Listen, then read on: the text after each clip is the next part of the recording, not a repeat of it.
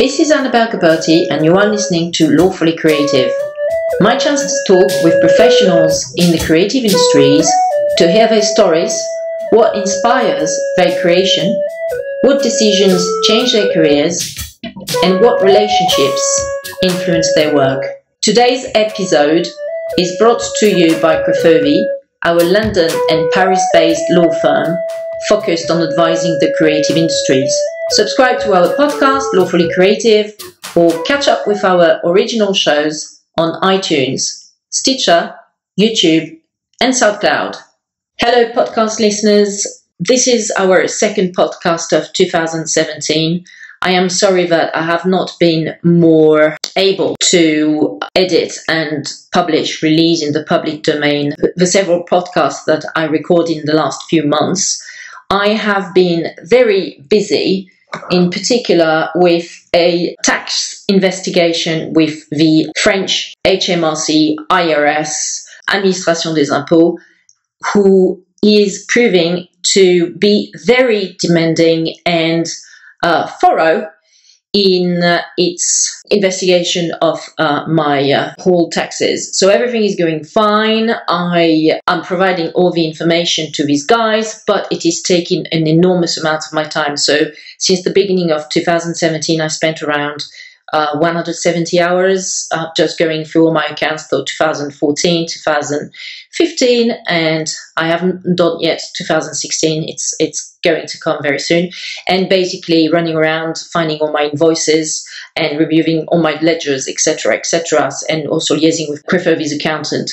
We had an upsurge of matters and work, which is fantastic news, and we are really delighted uh, with really interesting and um, dynamic clients coming our way. And in the aftermath of the Cannes Film Festival, I thought it would be very relevant to release my podcast done with Phil Turner, who is a London based film producer and director, which we recorded on the 26th of April 2017 at the Hospital Club in London. So here goes, podcast listeners. Have a great time and don't hesitate if you have any questions to contact us at Crefovi on contact at crefovi.com. With Phil Turner, Phil is a mate that I met a long time ago now, probably five or six years ago, had HTB. Uh, what does it stand for, HTB? Holy Trinity Brompton. Sorry, yes, which Yes. is a Church of England congregation, and I used to go there from time to time before I founded my firm, and I had existential questions as to whether I should found my law firm, Crefovi, focusing on the creative industries. So I went to HTB, and through that, I met Phil. So probably five, six years ago. How are you, Phil? I'm very well, thank you. The reason probably we, we stayed in touch with Phil is that Phil also is deeply involved in the creative industries on the film side. Yes, How would you describe your current occupation, Phil? director producer. I I've been one for scarily more than 20 years now. I started out as a 3D animator in the very early days of 3D Really? in '93. Good group, '93. Uh, Were you working in London or in Shepperton or in London Pinewood? and Norwich. So I was in the in Wardour Street. That's where our main office was. okay? And then I, I was using Acrobat and we had Softimage as well. Um, and then I became a producer. The next year, I, I, I decided I just wanted to produce and direct. Went into broadcast from there. So What were you producing at the time? creative services largely. Creative services for various broadcasters. I launched and helped relaunch four TV companies. So there are a lot of startups as the, the Sky satellite system started getting going. Select TV, Carlton Select, TCC. I relaunched that. I launched the Trouble Channel. Yeah, it was quite creative, fun sort of stuff, really. And I, you're really in at the beginning of, of satellite TV. It felt like That was in the early early nineties to the Mid- end of the nineties. uh, mid nineties for me, anyway. But early Okay. early to mid nineties, yeah. After working at pretty much every broadcast company in London, I worked for a Scandinavian broadcasters too, uh, Viasat, for every channel that they they have. Via Saturn, that's what they're called. Viasat on a, on a freelance basis. Yeah, they have a, a lot of channels under their umbrella. Very much like Sky for, for Scandinavia. For a while, I was at the BBC launching a lot of their new shows and things on BBC Two, and then went totally freelance. So a lot of TV work. Yeah, lots Yeah, of. TV work in the beginning. Um, and then you went totally freelance to launch your own company, Phil Turner dot TV and, Productions.tv. and philturnerproductions.com. Yeah, yeah, exactly. And just went around the world, did tribal documentaries, frontline documentaries, um, Military stuff as, as well, I noticed. lots of military stuff. Mhm. Yeah, I, I love working with them. Been on lots of expeditions with them. I've trained a lot with uh, some of their great PTIs, and um, I've made films, recruitment films for them as well. So Mhm. that's great. But also broadcast work, expedition broadcast work, and yeah, I might have another one coming up with the military next year. The, R- Fantastic. the RAF are celebrating big uh, anniversary next year, and they they want possibly me to come along on an expedition, but I think I can't really talk about much. Sure. But Fingers I'll- crossed for, for you, yes. Emma. Oh, hope so. Yeah. When did you develop your skills as, as a director? Did you go to uni- university here in the UK or? Yeah, Kent or mm. KIAD it was then, but it, it became part of Kent University. I feel that probably some of the people I've met that went straight into the industry probably learned more than they did people that I know who went to art college. And I, I know a lot of my fellow graduates didn't get into the business, Really? did running for a few years and earned very little money. And were making cups of tea for people that had actually just been someone's PA Yeah. for the first job in the industry and then became a producer straight off the back of that. So it wasn't, it doesn't seem particularly fair. And I think probably going on a media degree doesn't help that many people, to be honest. What do you think? I think the only thing it helps you with is to get a bit of time to produce your work without any limitations using their equipment, to absolutely define the kind of work that you want to do and make it look as professional as you possibly can. Right. Well, And- that's a skill set in itself, isn't it? Because It is. I mean, especially at the time, that was what in the eight, no, the late eight, 80s or the beginning of the 90s, I suppose, that you went to uni. It was probably work done on celluloid as well, mostly not digital. Yeah. Yeah, yeah, So it's 60 pretty- mil and yeah, yeah. Yeah, it's pretty technical, isn't it? It is. It is. I, you do learn some uh, stuff, and you do get a passion for it, and you get to explore that Yeah. passion. And, and for me, it was the new technology. The vision always came before the technical process. So if I had an idea of what visually I wanted to produce, because I started off as an illustrator, a technical illustrator, a photorealist. I, I loved producing work that looked like photographs, but mm-hmm. actually was using the airbrush, using very, very fine painting tools. And I thought, how can I do that with film? And how can I have a vision and then just see that vision through after having a vision? And that that was what launched me into learning what I've learned in 3D animation, post production compositing, all the grading tools, all the special effects tools that I use nowadays. That it didn't start off as a technical issue. It came started off as a creative challenge, and the technical always followed. So any job I've had, usually I've had a vision of what to achieve, and then how do I technically achieve that? And I've usually learned from the best in the business because you, you're always sitting next to them or over their shoulder, and then eventually you say, "Well, would you mind moving over and letting me operate that for a while and try seeing if I can do this?" How interesting. So it's mainly trial and error as opposed to opening a book and learning from. Well, now it's uh, it's all website based. So if you wanted to learn something complex like Maya, which is a fantastic 3D animation software package, and you can. There, there are a few good, good ones out there. 3D Mac, uh, Studio Max is good, I think. Cinema 4D is very user friendly and a very easy one to learn from the outset. I know Sky use that one a lot, and they've been trying to persuade me to take that up uh, because then our our work will be compatible, and I would be able to easily work with their teams on projects if I wanted to. Yeah. Maya is pretty much the can do all animation program, probably the one most used by people like Pixar. Really? And For can- special effects. You can do special effects, character animation, you have fluid effects, and lots of plugins like FumeFX for explosions and that type of thing. You can you can basically do anything you want if you have a good enough idea and you learn technically how to put it together in Maya and then can composite it afterwards in in a number of programs. After Effects is probably the best known. And you can with After Effects and Maya you can probably produce almost anything that you can possibly imagine nowadays. Thank you for that. That's, that's helpful. Now, what are the best software in the industry? there's a lot of good software and there's probably a lot better high-end software than After Effects, but it just shows that someone can actually start producing the kind of effects that 10 years ago would have cost millions and only high-end movies could afford. You can now have kids producing these same effects in their bed- bedrooms using this kit, which is very affordable. The same is happening in the music industry where kids are actually in the bedroom creating all albums and then they put them on Spotify, etc. And some of them just uh, explode through the charts. So it's um, it's true. It's a reality. Your take is that perhaps going having a um, film degree is not going to help you much in your career, and maybe you, are better off just um, being an intern with a great film producer or a great film director. Quite possibly. I, I think we reached saturation point with film degrees probably ten years ago, where they estimated about half of all degrees were media degrees in the UK. And obviously, there aren't that many jobs. There are, there are some jobs out there, but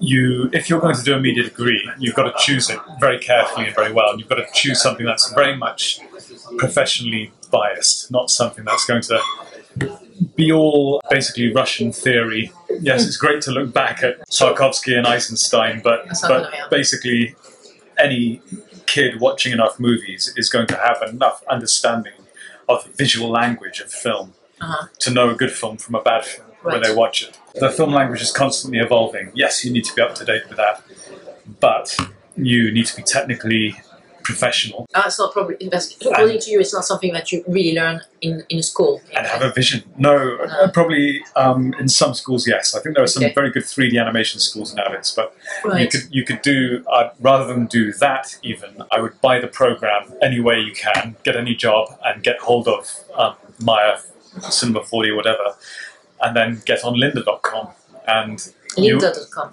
Yes, you'll have the best people teaching you okay. these very complex programs. You'll have the screen layout, and they'll just click on everything and show you exactly how to do it.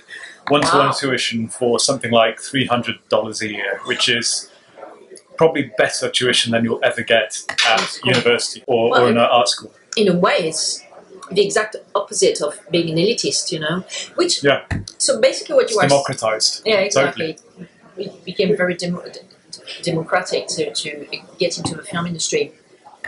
I think this is probably also why it's one of the creative industries where there are so many people who can't really live out of a passion, of a skills as well. Uh, for example, in, in fashion, you can't keep on having a fashion business if you're just not successful financially. Yes. But in film, I guess probably also because there are such low barriers to entry, and nowadays you just need a good camera, and all the software is available, and all the basically tuitions are available almost for free online. Yes, you can easily become, you know, a film director or something. Well, so, cameras for a while they got they became quite cheap and easy. It became very that was a democratizing yeah. factor as well in production. Yeah. Now they're starting to get expensive again. Although really? although they are getting better and better and better all the time. I like Red, for example. Yes, yeah, uh, that's a great production camera. Yeah. It, you use different cameras for different types of things. Just doing a run around shoot type thing for a documentary, and you wanted to get good sound coming into your camera through a radio mic, mm-hmm. you might just use an F55, which is Sony, and Sony are great for producing cameras that are broadcast quality, but you can pretty much use it as a one man band. But then if you wanted to go out and, and have a sound man with your production, and yeah. you, you'd probably use something like Alexa, which I use okay. quite a bit. And I love being a one man band. I learned all this stuff from some of the best people. Eventually, I don't bother hiring DOPs unless they're the best DOPs in the business, mm-hmm. because the news type cameramen that you can normally get for that kind of price would you might as well do it yourself. So DOPs being director of photography. Yes, yes. You learn a lot from those guys, definitely.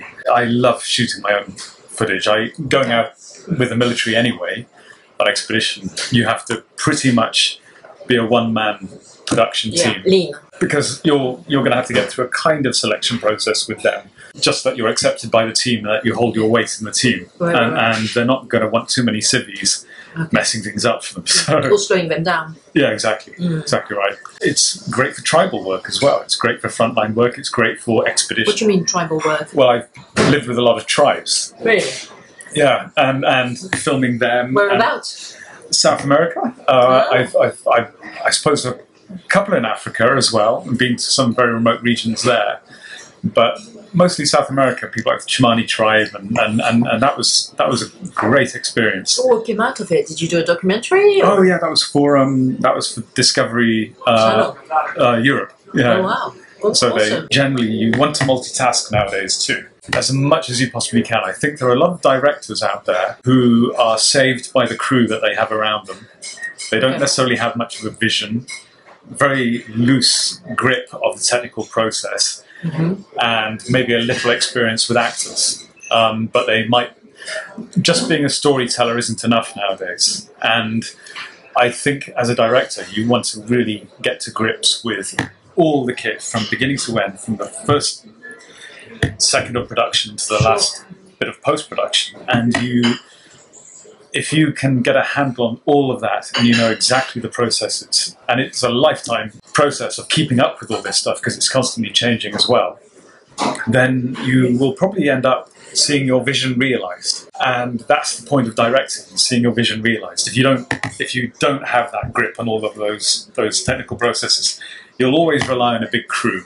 And you'll always rely on a very very good crew to save your bacon every time and I think there are a lot of pretty bad directors out there making quite a lot of big movies that they work with the same people every time. Or maybe they just like them and they just you Oh, know, often. created a time, Often. a, team around them. Sometimes that's the case, yeah. So I, are you are you saying that a lot of directors are mainly focusing on the pre-production, i.e., the script writing process, or I think I think there are a lot of writers that become directors. Mhm, okay, there are different ways of becoming a director. I suppose you you can write your own scripts and then insist on directing your own scripts. right, right, right. mhm. Or there are those who uh, make a lot of short films, and then they they end up directing a feature. And you've got to be very careful about the first feature you direct, okay, because I think there are a lot of first time feature directors and not very many second time feature directors. I think a lot of people take for granted what it takes to make a film. Big crew, it's a people that know this. process. Yeah, and it's a. Actually, I've spent my life, I think, learning every aspect of that Right. process Yeah. to the extent that I could now make a feature film on my own, potentially, but with actors, as a, as a single crewman with the actors. And I think You do also the editing. I love all the editing. I've, I've edited all my own stuff for about 20 years since the BBC. You're good at good for money. To some extent, you need that in the beginning anyway, I think, because you won't be able to afford a big crew and a very good big crew um, in the very outset. Even on the small projects that you get, if you're working with crew, often a new director will get bullied and they'll be told, oh, that won't work, that won't work, that won't work. And a lot of people won't know that actually what their vision their vision will work. It just requires them to understand the process a little bit better to say that will work. Do what I want you to do, and, Yeah, and, and do actually it that way. Yeah, Yeah. yeah, Directing means being sometimes the most unpopular person on set, which is another good reason to learn all the pro- all the jobs yourself, so that you Sure. you absolutely can nail everything that you want to do and you know how you want the thing lighting you know the kind of lighting that you you know what you're going to do with regard to post-production and the special effects and what mm-hmm. cgi you're going to put in there and how you're going to have to shoot it to enable that and that saves you a lot of money saves you a lot of time and if you know those processes then you you'll get your vision realized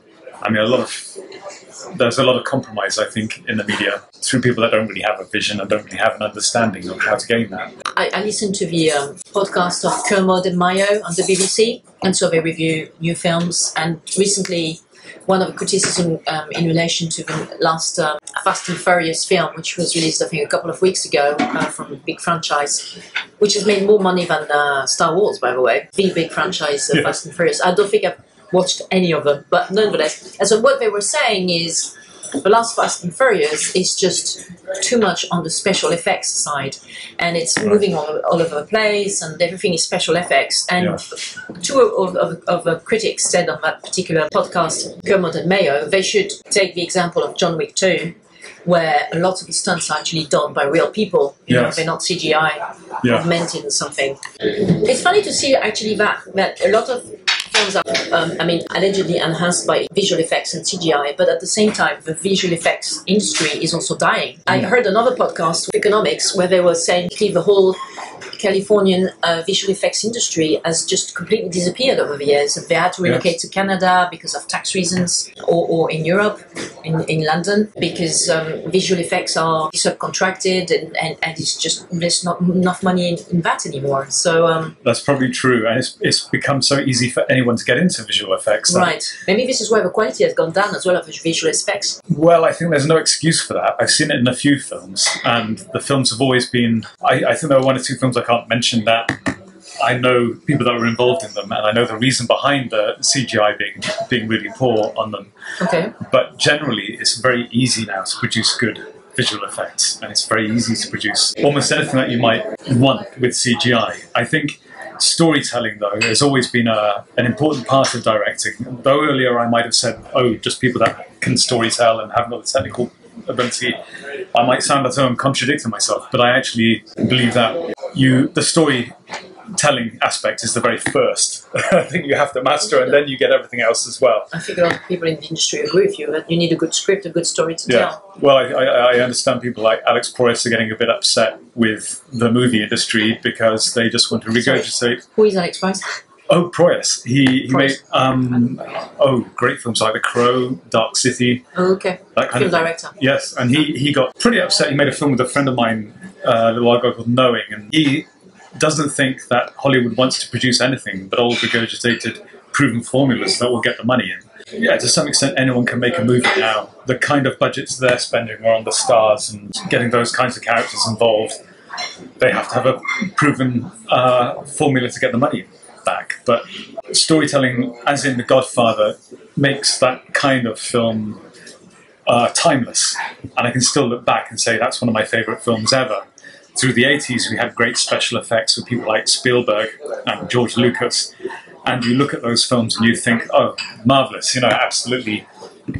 They've, they've changed the whole face of escapism because you can actually believe the vision that they had and they followed it through. Maybe a bit later, Lucas lost the plot a little bit with The Phantom Menace and thought that special effects could still carry him through an entire movie. Whereas, in fact, storytelling is was always what made his films so great in the early days. And I, I think I think you can never let go of that. There is a problem at the moment with money making, proven formulas, and getting good people involved to, to actually want to do that kind of filmmaking. On this note, money making process and, and the, the, the proven formula, as you say, I, I, I belong to a, um, an association of professionals involved in the film industry in Paris called ASECA.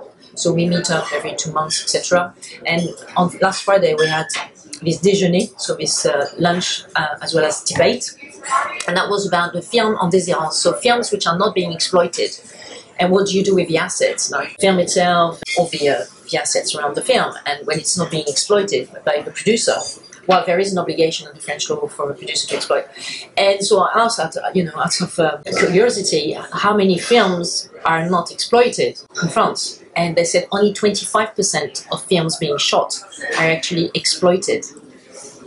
And the- the rest is not. I asked the financiers in the room, "Ah, why do you finance such films? I mean, how come you don't um, check, you know, whether there's going to be a, a sales or distribution package tied into the deal so that you make sure you get your return on your investment? I mean, that's what they do. I, um, talent agencies like CAA and WME in, in Hollywood. Why don't we have the same thing in France or maybe in Europe? So, my question to you is how come Europe seems to be so unprofessional compared to the Hollywood way of doing things, where they prepackage the whole thing? I mean, I'm reading at the moment a really useful and interesting book called uh, CAA, The Powerhouse, Building of a Powerhouse, where they explain to you that CAA Creative Artist Agency, which was founded in, in 1975. They basically have as a roster of clients the best film uh, producers, the best film directors, uh, script writers, and also the best actors, and then they just package deals. So they take one of their film directors on the on their roster, and then they a couple of actors, and uh, and then they speak to the sales agents um, and also to big studios to basically uh, arrange a distribution deal. And it seems to be so well organized and so a, a, really smooth process in in the US. And and when I have I am under the impression that here in Europe it's much more uh, DIY, so to speak, and with Yeah. and, and a lot of vanity projects. I mean, Yes. at the end of the day, if only twenty, I mean, at least in France, if only twenty-five percent of the films are being exploited commercially, it means that seventy-five percent of the films are just vanity projects by some film directors. So, how do you make sure that you still have this hold on reality and that your film projects are, uh, you know, commercially viable? Yeah, Yeah. I think they have some pretty tough producers over in the States as well, and they'll keep you to your script, your schedule, to your budget, and everything else as well. It is a business. Yeah. A lot of the funding actually probably comes through hedge funds and things like that. People looking to spend their money on an interesting project, but also uh, to gain some of the tax perks and that kind of thing too. And I know that there are, you know, obviously funding bodies here as well, and generally the budgets tend to be a lot smaller than the states, Okay. and so it enables you to take a few more risks. And if you do actually just get a small proportion of your films making a, a profit here, and you make say seven and one or two of them just get through, the, the budgets are usually so small that you're still going to make a profit from the one or two that actually get get get made. Probably where it's big business, and when you're in the states and you're actually making a lot of money, they are much more on the ball with regard to yeah keeping you keeping you on the straight and narrow. I've got a friend that's just made a film called The Shack, and I think he's This is the guy you, you, you who did wrote a script about Moses. Oh yes, Yeah. yes, Stu. Yeah, yeah. He's uh, I think he's a good guy and he's quite talented. And he's just made a film out there and probably had to jump through many hoops to get into that position to make a feature film as well. But even then, the studio will be very firm, and it'll be the studio that produced Life of Pi and other great films that So who bought this film, The Shack? Um, Which studio? A major studio? probably yes, and and they'll be just distributing in the UK in June. Oh, Uh, so yeah, yeah. But the kind of thing that I'm involved in at the moment would be very low budget in comparison to that. That had Sam Worthington starring, and the kind of thing I'm doing at the moment is I'm, I'm helping a, a young, very talented lad that I mentored for years called Humphrey Pittman, who's an actor, and he's just through his passion for Shakespeare and, and getting together a budget from wherever he could scrape it, made a one man show uh, on Hamlet where he played pretty much all the roles except for the female ones. And he's just been shooting the flashbacks, and I'm going to help him with the post production on that. And I've, I've basically been involved just in an advisory role, but I think he's going to go far as far as he can go in the UK, as far as he can go in Europe. But one thing that Stu, the guy that the stunt did the Shack, told me, even as a scriptwriter, if you want to make a lot of money as a scriptwriter, you go to the States. If you want to not be able to pay your mortgage, you stay in the UK and you, you write scripts. That's where the money is. Well, I mean, a lot Yeah. of the talent does live in the UK. I mean, because the UK is a big pool of, of, of talent. There are many British actors who are often working on uh, massive uh, Hollywood productions. But I think most of the time they need to be in the UK and go to Los Angeles back and forth. The ties between London, the, the film business and Hollywood, I think are much stronger Yeah. than, for example, Paris and Hollywood.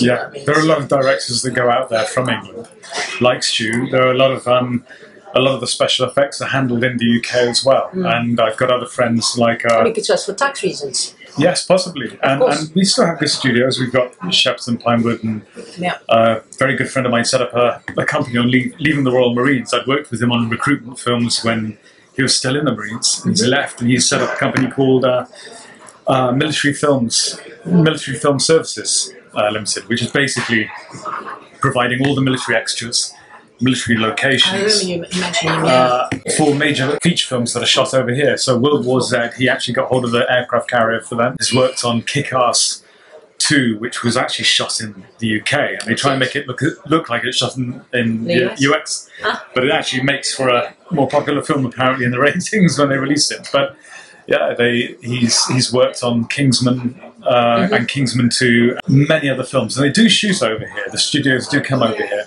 Oh yes. Well, again, Yeah. I think it's basically because the UK has put in place some extremely good tax incentives Yeah. or uh, tax rebates. I mean, when I go to Weekend Film Festival every year, there's this whole team from the BFI and will come down. Film UK, I think it's also called, and they explain to you all these tax rebates. For example, Game of Thrones is shot in Ireland, I think, North, Northern Ireland quite a lot. So Uh. that's why they shoot either in Canada, where there are some good tax rebates, or in the UK, uh, some uncapped tax rebates. It's a good business. English film's been democratized by the advance of technology, so you've got many, many more people coming into it. So there is fierce competition.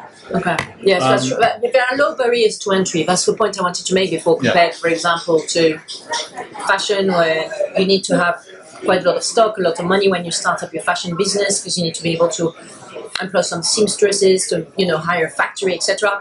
But in the film business, I think there are very low barriers to entry, and also a lot of film projects are unexploitable. As we said, we're unexploited because only 25% are commercially exploited, apparently. So it, means that for me as a lawyer, when I, I talk to all these film, film types, I don't really see any business opportunities because Sure. there's not your money around.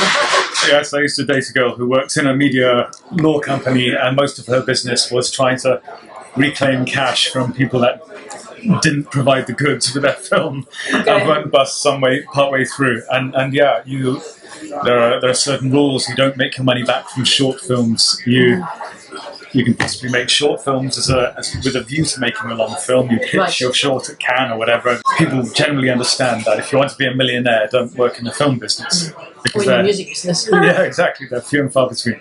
I think one of the rules of sort of the entertainment industry is that it's a one winner takes all economy. So it's only the one percent who are successful who really make a lot of money out of something. The rest is just barely surviving. So it's Yeah. it's tough. I mean, for example, for accountants or lawyers, it's not the same. I mean, there are of course much higher barriers to entry into the industry, but then at least more or less everyone makes a decent living. While in creative industries, it's more difficult because there are lower barriers to entry. So only those who are hyper achievers, very successful, very lucky as well, can really make it big. Yeah, I, I think you can narrow the odds. You can you can Okay. learn the business as well as you possibly can.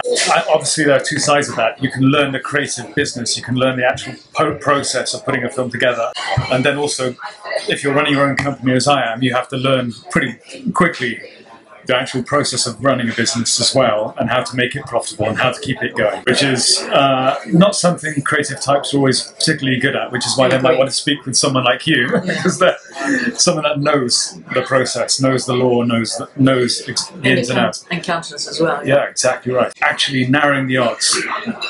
If you work for a long time in a business, you gain a consistency and you know how to produce good work that absolutely suits the the client criteria, and you know exactly how to how to achieve that to the budget, and you can consistently do that. You're narrowing the odds of being able to produce and direct and create at the top level, and I think your budgets will go up. I mean, you'll end up you'll start perhaps producing with five thousand pounds to twenty thousand pounds to thirty.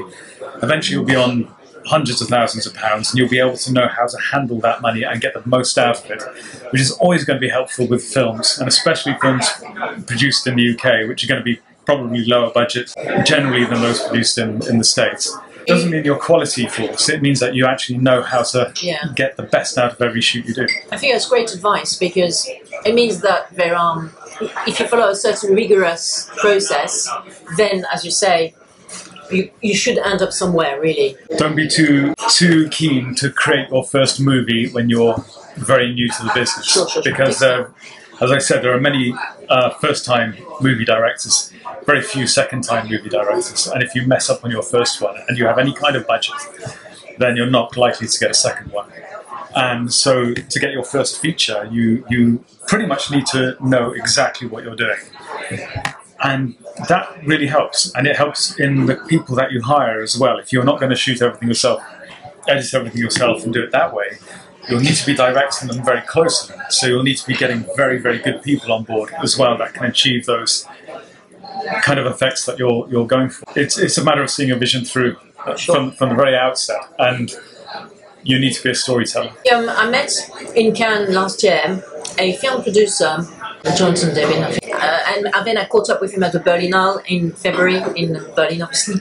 I was very surprised by the fact that he's much more interested in the creative side of the process than in raising the money and oh yeah totally I was like, I thought that this was the whole thing of being a film producer. You know, that you would be more, you would be managing the whole process of organizing everything for the film director and also getting all the money and the, the distribution of the of the film in place, while the film director would be doing the creative process. But he seemed to think otherwise. So, how do you do you uh, work often in pairs with a, a, film producer when you are a director, or you, do you prefer to do both? Or I mean, what's your view on the role of a film producer? It's a mixed bag, I think, because you, you start off. Um, well, I started off in the creative side of things with 3D animation, but I became a producer, and then I really wanted to get back to directing. I had directed animation and such prior of that. Yeah.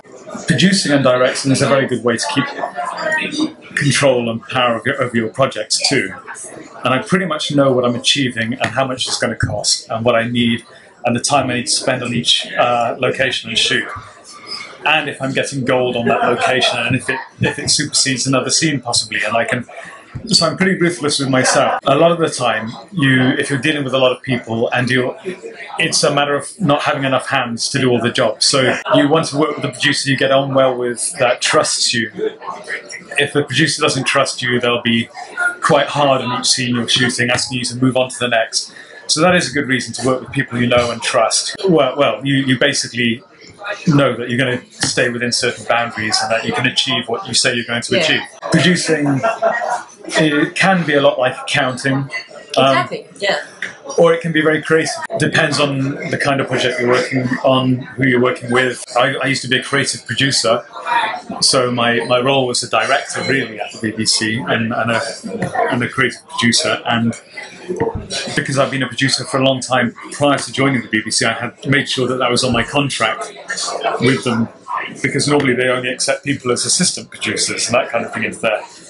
And I've, I've, I've launched several companies by that stage. So it, it, it really varies on the project and it and I think the deal's made at the very beginning what kind of power someone's going to have. Normally, the producer will be telling the director, okay, that's the limit of our budget now, let's go to the next location. Or we've got to stop here, we've got to sometimes it's very good to keep the director in check, especially if he thinks he's a mad genius uh, and is going to blow the entire budget on one scene. Yeah. Stanley Kubrick apparently was quite famous for that. Who was it? Stanley Kubrick. Oh, he was doing take after take after take after take. It was exhausting all his actors. There's a certain billionaire in history as well, wasn't there, um, who, who thought he could direct films and obviously he didn't need a producer because he had a, all his own money to throw at these things. But studios probably quite tight. Uh, was that Howard Hawks? Ah, right, yeah, yeah. Um, was he a millionaire, really? I, I, I, I, I need to look at my history, goodness knows. But I think if you, unless you've got that kind of money in your back pocket, uh, yeah, yeah, you need a producer. Family from Houston and making money out of oil, yeah, yes. Where do you see the future of the film industry going? With this revolution, which is very well explained in Side by Side, a documentary produced, I think, and made by Keanu Reeves.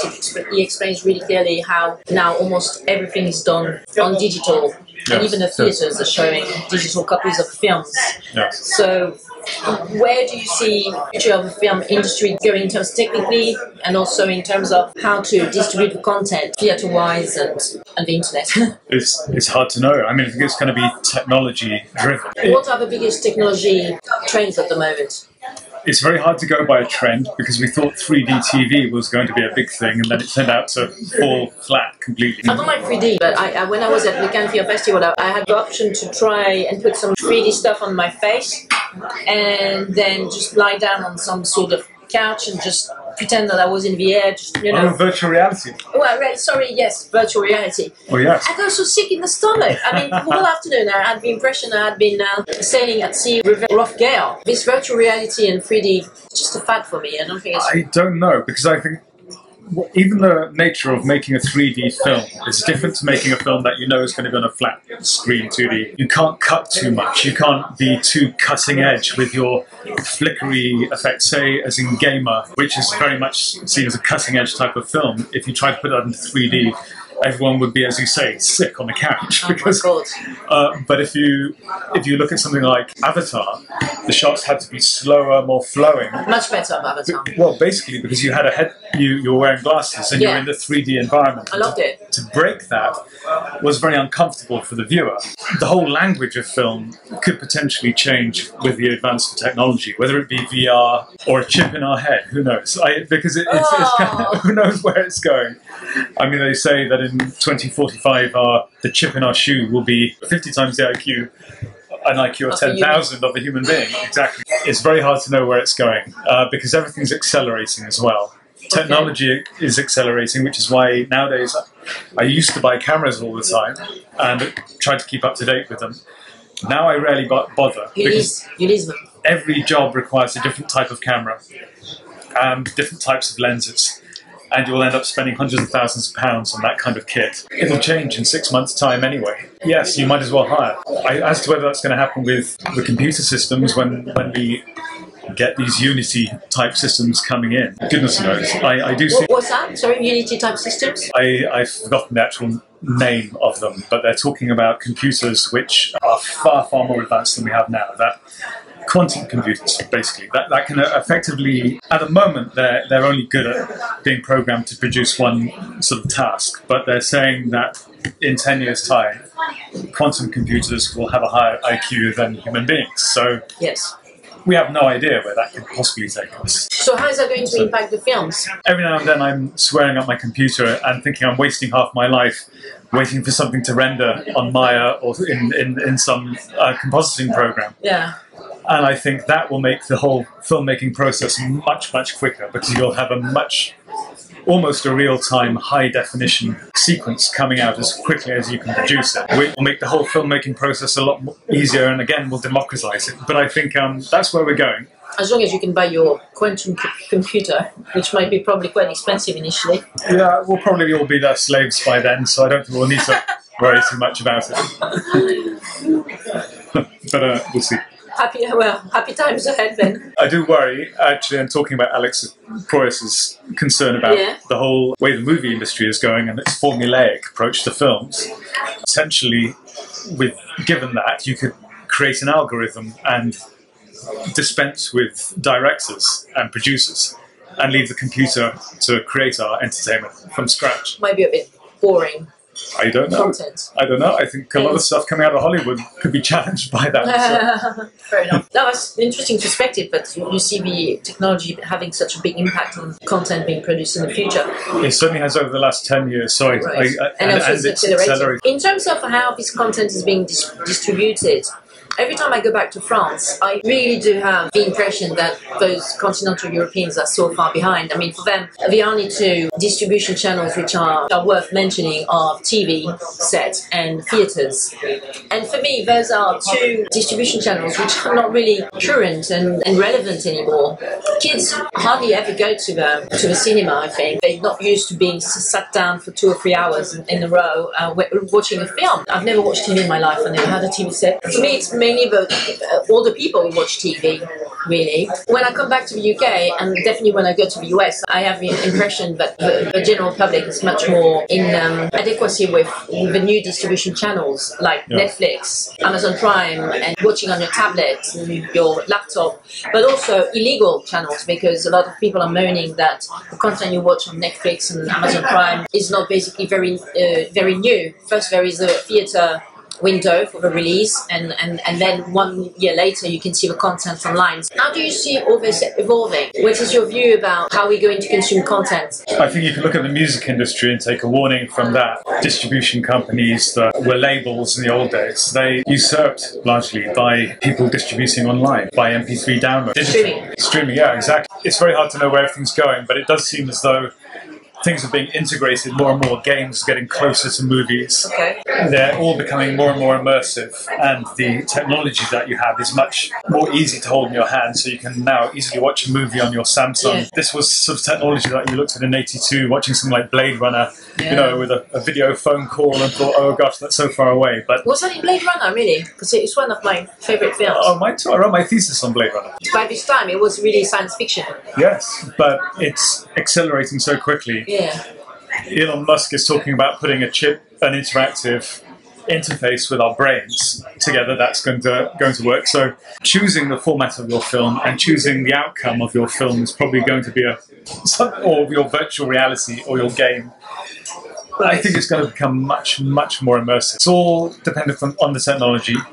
Yeah, we'll look back as we do at some old films and think, gosh, how primitive the language is there. And the language is always changing in film.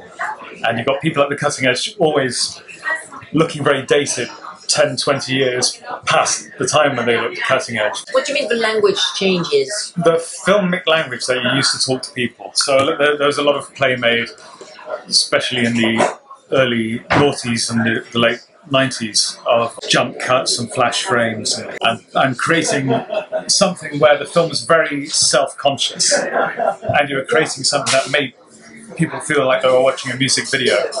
and I, I, I indulge in a lot of that kind of stuff myself. But as it becomes more immersive, you're forgetting the technology more. You're moving much more into the fantasy world, and it, it the language is getting much closer to our actual reality of our day to day. I think that's where we're sort of going. We're going to an alternate reality with technology that is going to become more and more integrated. A bit in the way that Danny Boyle filmed um, Slumdog Millionaire, where he just had a camera, just one camera that you could move around with. Yeah, he was always on the move when doing that film. Well, I shot some joint services adventure training stuff with the military in, in, the, in 2007 and GoPro came out straight after that with, and the whole way I'd have filmed all our skiing, diving, skydiving, everything else would have been entirely different. I was using massive underwater cameras. I was skiing down mountains with some massive camera over my shoulder. Oh virtually. my god! And climb, dangling off cliffs holding these big things too. And nowadays, you wouldn't dream of shooting it that way. You have drones, you have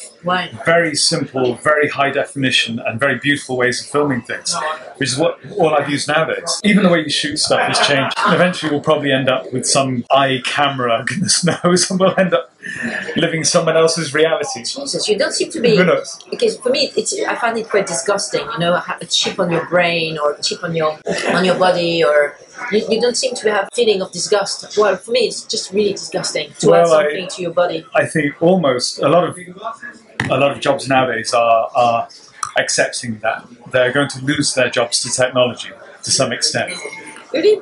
Yeah, I think so. I think, uh, sadly for you, I think law was one of the ones that was mentioned in the five jobs that are definitely going to be taken over by AI. Oh yeah, right. Yeah, I, I really do see an AI going to a, a stand at the bar and, uh, and pleading, pleading at, at, at the bar. It's not possible. AI is going to be useful to do a lot of research more quickly and drafting churning the documents, which frankly I'm just waiting for that day to arrive. But I think we will still need for negotiations or trials, we will still need human beings to be there to do the work.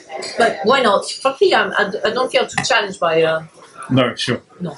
AI or the technology at the moment is accommodating our advances to to escape, escapism, and, and entertainment. Hopefully, it'll always be something that just entertains, and we won't get into some kind of Matrix nightmare where we're all batteries supporting this great big AI. But yeah, yeah, we are. Um, but for example, it's typically yeah. the sort of thing that would disgust me. You know, to have this sort of cable just plugging at the top of your your neck here. Well, you see, having written my thesis on Blade Runner, yeah, which I suppose you could equate very closely it's about to replicants, so they're robots. Yes, yeah, and Metropolis, and the idea of the robot taking over and the technology taking over and becoming.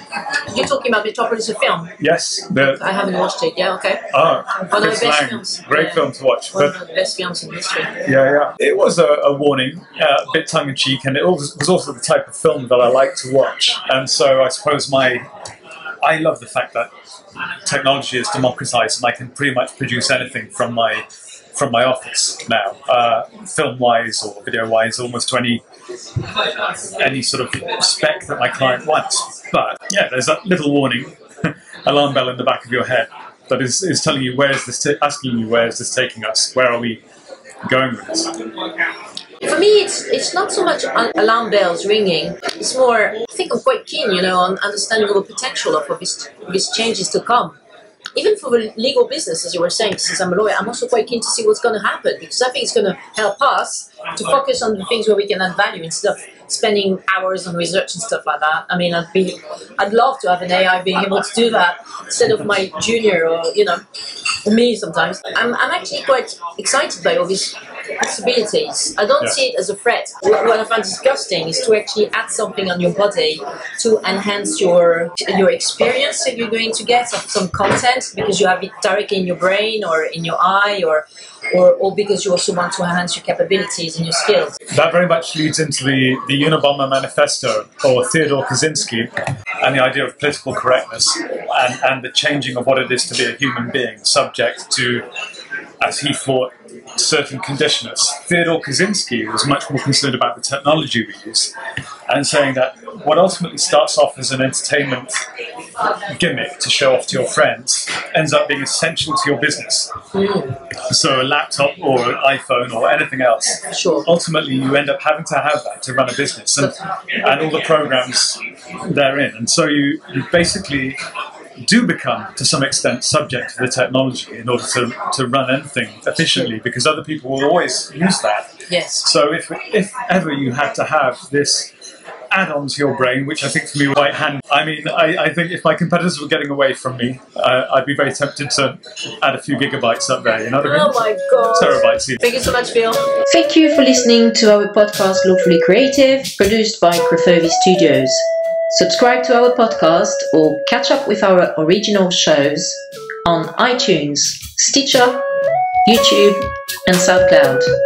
If you have any questions, don't hesitate to reach out to Crefovi and its lawyers on contact at crefovi.com.